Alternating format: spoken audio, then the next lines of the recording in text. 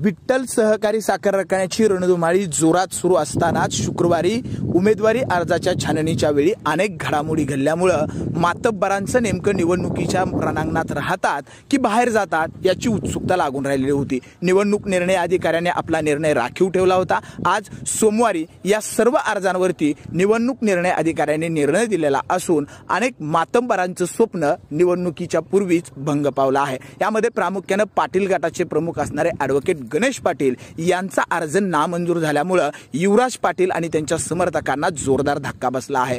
तर गतवेळेस सत्ताधाऱ्यांच्या विरोधात पॅनल प्रमुख म्हणून निवडणूक लढवलेले डॉक्टर बी पी रोंगे यांचा अर्ज सुद्धा नामंजूर झालेला असल्यामुळं त्यांच्या समर्थकांना सुद्धा धक्का बसला आहे. तर विठ्ठल परिवाराचे ज्येष्ठ नेते कल्याण काळे यांचे बंधू समाधान काळे यांचा ऊस उत्पादक गटातील अर्ज नामंजूर झाला आहे. मात्र संस्था मतदारसंघातील त्यांचा उमेदवारी अर्ज कायम राहिल्यामुळं काळे गटाला थोडासा दिलासा मिळाला आहे. तर सत्ताधाऱ्यांच्या विरोधात प्रामुख्याने गेली दोन महिने रान उठवत असणारे अभिजित पाटील यांच्या अर्जाचं काय होणार याची सुद्धा उत्सुकता लागून राहिलेली होती. आणि तुंगत ऊस उत्पादक गटातून अभिजित पाटील यांचा अर्ज मंजूर झालेला आहे. आणि त्यामुळं सत्ताधारी आणि विरोधक यांच्यामध्ये विठ्ठलची निवडणूक ही आता रंगतदार होणार आहे. तर निवडणूक निर्णय अधिकाऱ्यांनी निर्णय दिल्यानंतर अभिजित पाटील यांचा अर्ज मंजूर झाल्यानंतर त्यांच्या समर्थकांनी जल्लोष केला आहे. त्यामुळे आता advocate Ganesh Patil doctor B P Ronge हे विठ्ठलच्या निवडणुकीपूर्वीच रणांगणातून बाहेर फेकले गेले आहेत.